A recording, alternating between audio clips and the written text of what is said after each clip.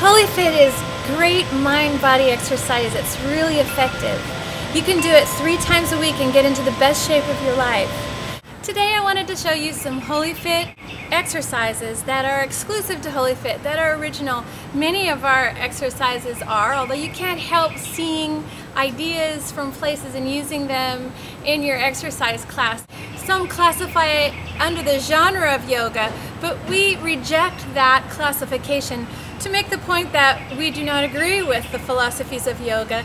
And actually, we make that point so as not to perpetuate the lie that all movement belongs to yoga. When people go to a yoga class and they come out saying, oh, I feel so good, isn't yoga wonderful? I have to say no, it's not yoga that makes you feel wonderful. It's slow moving mind body exercise which was given to us by God. It's simply exercise. Exercise makes you feel wonderful, and especially if stress management is incorporated into it, and it's a gentle and yet powerful system, which WholyFit is. You can try this exercise at home. It's in supine position, and I'll repeat it a couple times so you can see it. It works the hamstring of the left leg and also stretches the hamstring of the right leg. And then, of course, you would repeat on the other side. The way it's done is you lay in supine position, right hand over the head palm up, and you lift up the hips to a one-legged bridge, and then pull the right leg back to stretch. Watch it again. So the hips are lifted, and then lowered, and the stretch is added at the end. Your WholyFit instructor could help you modify that just for you.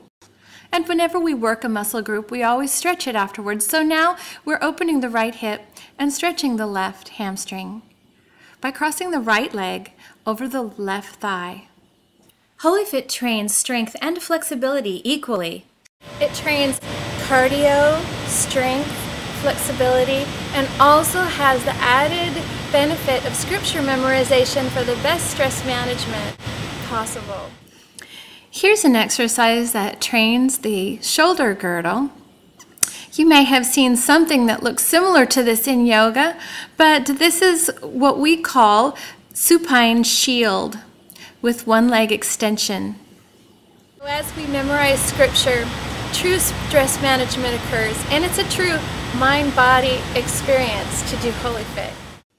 This is an example of a WholyFit core exercise that was actually inspired from my springboard diving days. It stretches the hamstring and works the iliopsoas so that our one and a half pike somersaults would be nice and tight. I would say because of the scripture memorization and because of the soundness of the WholyFit system that WholyFit is actually better than yoga. Here is an example of a WholyFit exercise called Prayer Runner.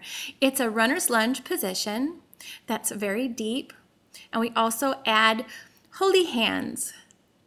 Then it turns into a shoulder exercise, particularly targeting the rotator cuff muscles.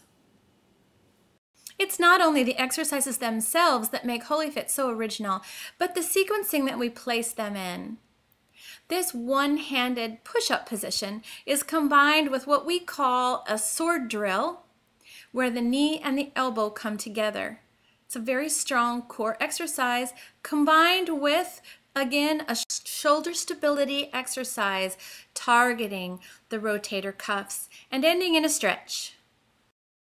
As in WholyFit, all of the exercises are soundly based on fitness principles that are well accepted in the industry by such organizations as the American College of Sports Medicine and the Aerobics and Fitness Association of America. The most enjoyable part of WholyFit for me is presenting our bodies a living sacrifice to the Lord in worship.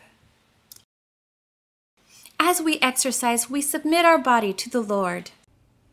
For from him and to him and through him are all things. To him be the glory forever and ever. Amen. So you get the best of both worlds.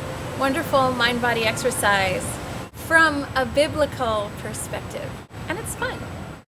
This is an example of a WholyFit arm stretch that was introduced by Connie and Oliver Haydner that they got from classical ballet training.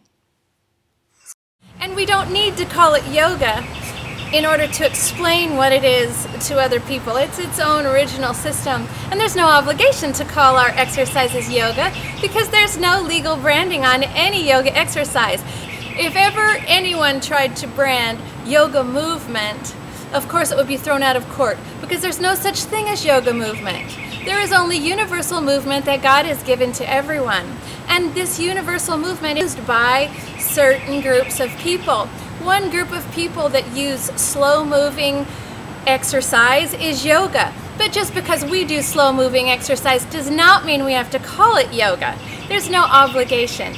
We call our cutting edge mind body Christian exercise system WholyFit and feel no obligation to explain it as yoga, especially because we do not want to, to agree with the philosophies of yoga because we do not. Yoga philosophies do not teach that Jesus is the only way to heaven. And we at WholyFit do believe that because Jesus said so himself. He said, I'm the way, the truth, and the life. No one comes to the Father but by me. And because our faith is in Christ, we do not claim to be doing yoga. We do not claim to be doing Christian yoga because if we were to call it Christian yoga, that would just perpetuate the big lie that says all movement belongs to yoga. Movement does not belong to yoga. Movement was created by God for our enjoyment, to use to worship Him with our bodies. We should never have let yoga take it in the first place because it's rightfully ours. All things belong to Christ. And because all things belong to Christ, all things belong to us. Find a class near you. We're popping up all over and if you don't have one in your area, get trained all online and start teaching right away.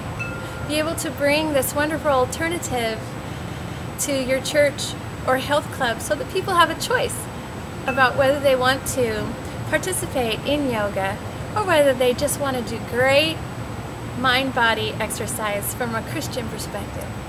WholyFit is a great alternative to yoga, your alternative to yoga.